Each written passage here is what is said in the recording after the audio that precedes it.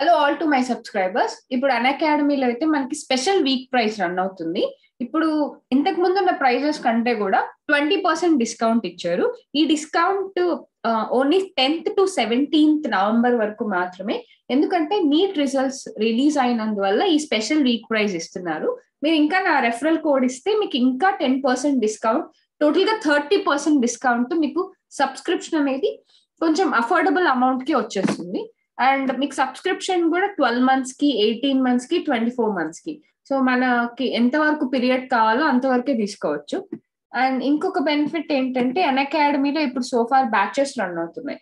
So droppers to toppers మనకి NEET అనేది మన రీజనల్ లాంగ్వేజ్లోనే ఎక్స్ప్లెయిన్ చేస్తారు. సో మీకు తెలుగు కావాలన్నా ఉంటుంది తమిళ్ ఇంగ్లీష్ హిందీ. సో ఈ లాంగ్వేజెస్లో కూడా మీకు ఎక్స్ప్లెనేషన్ దొరుకుతుంది డీటెయిల్డ్ uh, గా. ఇంకా సోఫార్ బ్యాచెస్లో అయితే డ్రాపర్స్ బ్యాచ్ అని so batch for NEET twenty twenty two అని ఇది సెవెంటీన్త్ నవంబర్ నుంచి స్టార్ట్ అవుతుంది. మీకు ఫిజిక్స్ ఒకరు కెమిస్ట్రీకి బాటనీ జువాలజీ ఇలా మీకు ప్రతి ఏ ఏ ప్రతిరోజు ప్రతి క్లాస్ డీటెయిల్డ్గా జరుగుతుంది. అండ్ ఒక్కొక్క session one and half hour ఉంటుంది. మీరు సోఫార్ మీ డౌట్స్ని కూడా వాళ్ళు ఎక్స్ప్రెస్ చేస్తే వాళ్ళు చాలా ఫ్రెండ్లీగా మీకు రెస్పాన్స్ ఇస్తారు. అండ్ యునిక్ అయితే అన్ అకాడమీలో ఒక స్పెషల్ థింగ్ ఇది టాపిక్ వైజ్ క్వశ్చన్స్ ఉంటాయి దీంట్లో.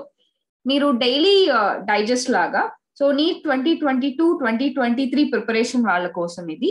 ఇది every Monday to Thursday so దీనికి స్టార్టింగ్ వచ్చి ఎయిత్ నవంబర్ నుంచి స్టార్ట్ అవుతుంది. సో సెవెన్ పిఎం కి. సో మీరు ఫ్రీగా ఎన్రోల్ చేసుకోవచ్చు. దానికి నా కోడ్ ఇస్తాను జిఎస్ఎస్ జీరో త్రీ ఇంకా టోటల్గా thirty minutes thirty questions so unique మాత్రం మర్చిపోకుండా సైన్ అప్ అవ్వండి. ఎన్రోల్ చేసుకోండి.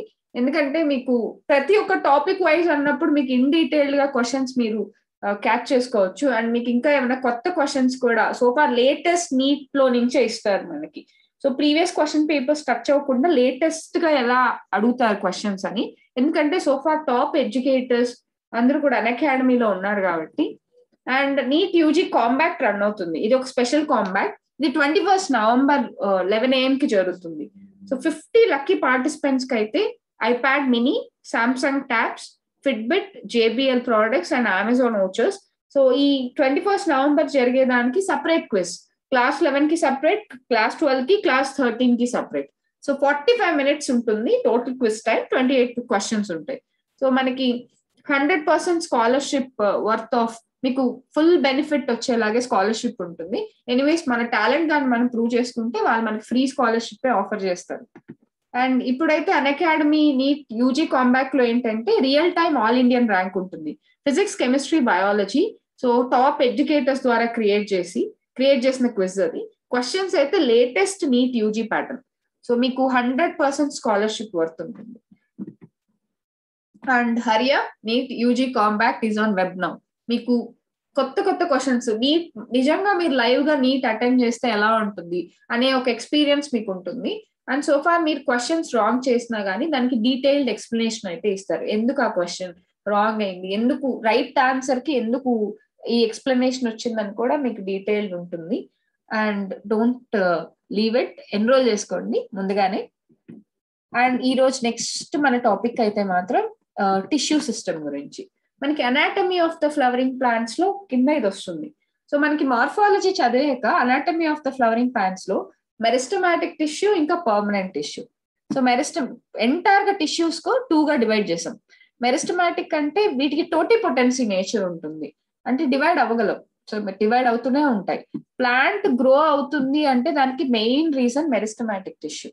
So దాని తర్వాత పర్మనెంట్ టిష్యూ. ఇది ఒకసారి డివైడ్ అయిపోవడం ఆగిపోయిందంటే ఇంకా మళ్ళీ డివైడ్ అవ్వదు. అది పర్మనెంట్ టిష్యూ. సో మెరిస్టమాటిక్ టిష్యూలో కూడా అపికల్ మెరిస్టమ్. అంటే ఇది రూట్ టిప్ లోను షూట్ టిప్ లోను ఉంటుంది. ఇది హైట్ ఆఫ్ ద రూట్ ఇంకా షూట్స్ గ్రో అవ్వడానికి హెల్ప్ అవుతుంది. దాని తర్వాత ఇంటర్ క్యాలరీ మెరిస్టమ్. ఇది ప్లాంట్ యొక్క గర్త్ ఇంక్రీజ్ అవడానికి హెల్ప్ అవుతుంది.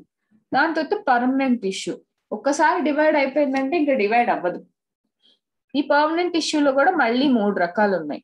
Simple permanent tissue complex permanent tissue ఇంకా సెక్రటరీ టిష్యూ సింపుల్ పర్మనెంట్ టిష్యూలో మనకి పారన్ కైమా కోలన్ కైమా స్క్లీరన్ కైమా పారన్ కైమాలో కూడా మనకి క్లోరన్ కైమా అని ఉంటుంది. అంటే క్లోరోప్లాస్ట్లు ఎక్కువ ఉంటే అది క్లోరన్ కైమా ఏరన్ కైమా మనకి సెల్కి సెల్కి మధ్యలో స్పేసెస్ ఎక్కువగా ఉంటే దాని పేరు ఏరన్ కైమా ప్రోసన్ కైమా వచ్చి పారెంట్ కైమాకి ముందు ఉండే సెల్స్ని ప్రోసన్ కైమా అంటాం.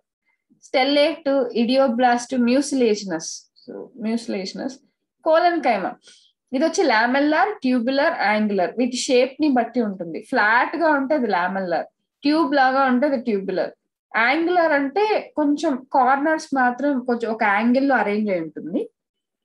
ఇంకా స్క్లీరన్ కైమాకి వస్తే మనకి డెడ్ సెల్స్ స్క్లీరన్ కైమా సెల్స్ అన్ని కూడా ప్రోటోప్లాజం ఏమీ ఉండదు దీంట్లో. సో ఫైబర్స్ స్క్లీరైట్స్ ఇవి మెకానికల్ సపోర్ట్ కోసం. సో జైలం ఇంకా ఫ్లోయం వచ్చి కాంప్లెక్స్ టిష్యూ కిందకు వస్తుంది tracheids vessels wood parenchyma wood fibres. మనకి xylem parent parenchyma xylem fibres అయినా కూడా ఒకటే. కానీ మనం ఎందుకు wood parenchyma wood fibres అని పిలుస్తాము అంటే మనకి వుడ్ ప్యారెంట్ కైమా అంటే అంటే వుడ్ మెయిన్గా ఫామ్ అయ్యేది జైలం వల్లే. కాబట్టి wood parenchyma wood fibres. తర్వాత ఫ్లోయం.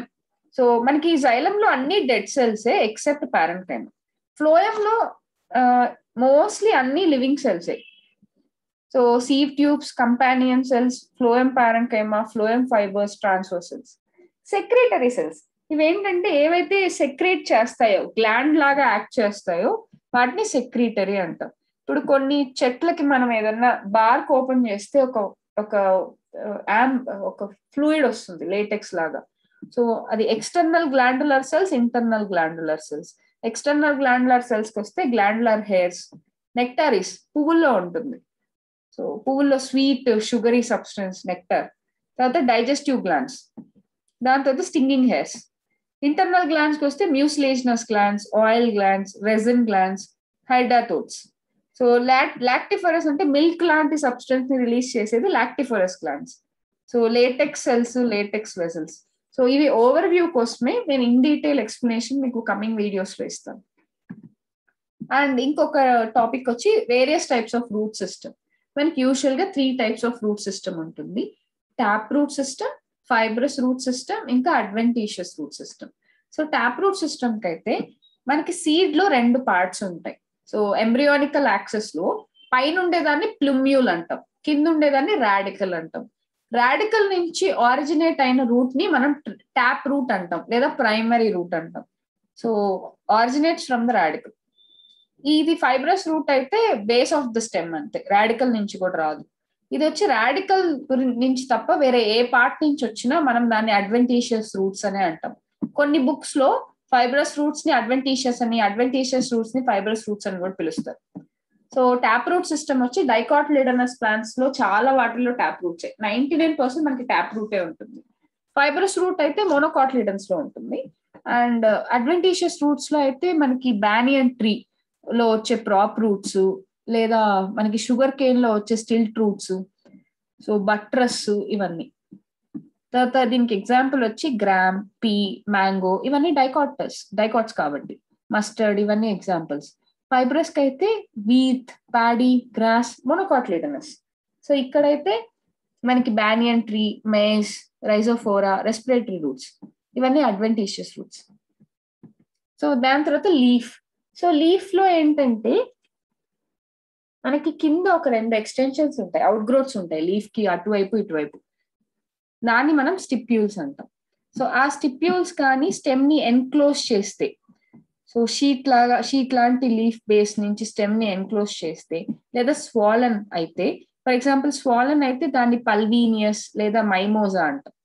మైమోజా సో దాన్ని లెగ్యూమినస్ ప్లాంట్ ఎగ్జాంపుల్ అనమాట వాటిల్లో కింద స్టిప్యూల్స్ అనేవి స్వాలన్ అయిపోయి ఉంటుంది. సో ఇంకొకటి వచ్చి ఎక్స్పాండెడ్ టు ఎన్క్లోజ్ స్టెమ్ అయితే షీట్ లీఫ్ బేస్ వచ్చి షీట్ లాగా ఫామ్ అయ్యి స్టెమ్ని టోటల్గా కవర్ చేస్తే సో గ్రామ్ వీత్ ఇవి ఎగ్జాంపుల్స్ స్టెమ్ని పార్షియల్గా కవర్ చేస్తే దానికి ఎగ్జాంపుల్ వచ్చి buttercup so types of leaf తీసుకుంటే సింపుల్ లీఫ్ నార్మల్గా ఒక లీఫ్ నార్మల్గా ఉంటే మ్యాంగో గానీ uh, పీపుల్ గానీ వీటిలో ఏంటంటే ఒక సింగిల్ లీఫ్ ఉంటుంది అంతే. కాంపౌండ్ లీఫ్ అలా కాదు. ఇప్పుడు మనం నీమ్ నీమ్ చూసాం సిల్క్ కాటన్ వీటిని చూసినప్పుడు లీఫ్ అనేది చిన్న చిన్న లీఫ్లెట్స్గా డివైడ్ అయి ఉంటుంది. వాటిని కాంపౌండ్ లీవ్స్ అంటాం. సో లీఫ్కి చాలా లీఫ్లెట్స్ ఉంటాయి. దాంట్లో కూడా మళ్ళీ రెండు రకాలు ఉన్నాయి. Pinnately compound palmately compound. Pinnately compound అంటే లీఫ్లెట్స్ అన్ని కూడా ఒక కామన్ ర్యాచెస్ మీద ఉంటాయి. సో నీము రోస్ ఇవన్నీ ఎగ్జాంపుల్స్. పామెట్లీ కాంపౌండ్ అంటే లీఫ్లెట్స్ అన్ని కూడా ఒక కామన్ పాయింట్ దగ్గర అటాచ్ అయి ఉంటుంది. టిప్ ఆఫ్ ద పెటియోల్కి సో దీనికి గుర్తుపెట్టుకోవడం చాలా easy. Silk and cotton. Okay right. So so it that's it మీకు ఇంకా కానీ ఏమైనా టాపిక్స్ మీద డౌట్ ఉంటే నాకు కమెంట్ బాక్స్లో పెట్టండి. అండ్ ఇప్పుడు అన్ అకాడమీలో నా రెఫరల్ కోడ్ వాడితే మీరు ఫ్రీ కంటెంట్ని కూడా అన్లాక్ చేసుకోవచ్చు. And thank you very much thanks bye